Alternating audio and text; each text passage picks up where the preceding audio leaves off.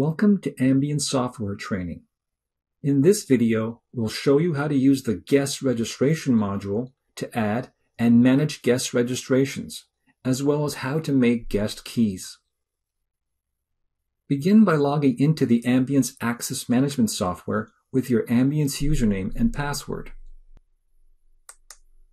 Then, from the Ambiance homepage, select the Guest Registration module.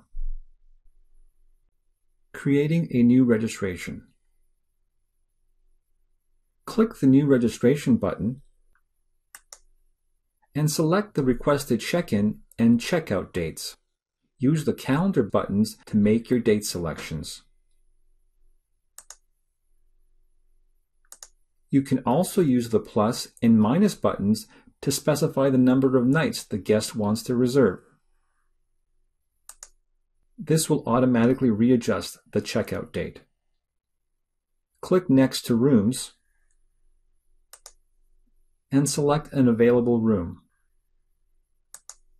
Click next to Access and select any additional amenity the guest may need access to. Click next to Guests and enter the first and last name on the reservation.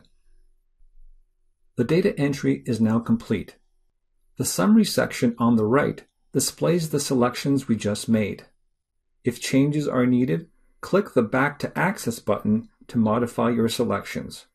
Otherwise, we are now ready to make the guest keys. Making guest keys. Click the Make Keys button and select the requested number of keys. Click Start, and the RFID encoder will flash green. As it is flashing, place the keycard on the encoder and only remove it once the success message appears. The keycard is now ready for use. Click Done, and the registration is complete. Managing a registration. Once a registration has been completed, four new options become available. Let's look at each of these individually. Replacement key is used to replace a lost guest key. Click the replacement key button and click Start to make the key.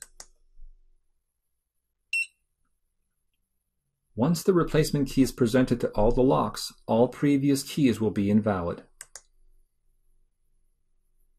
An additional key is issued to a guest that requests an extra key for their room.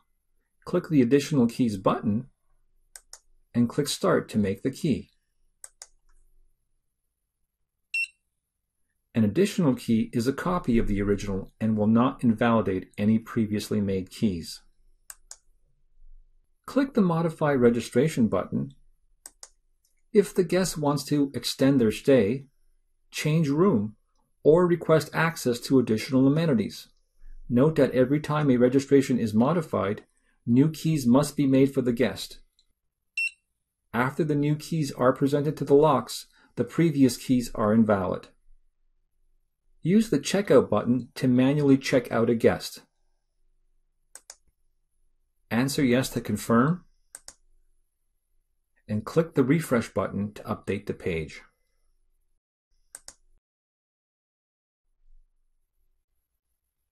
How to make a limited use key.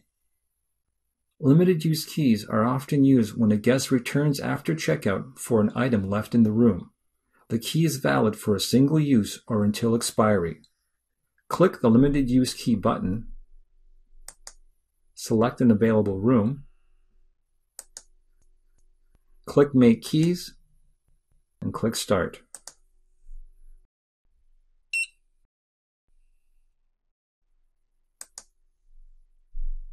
In this video, we saw how to use the guest registration module to add and manage guest registrations, as well as how to make guest keys. For more information on this or other Ambiance topics, click the online help or look for other Ambiance training videos. For customer service, contact Dormakaba or visit us online at dormakaba.com.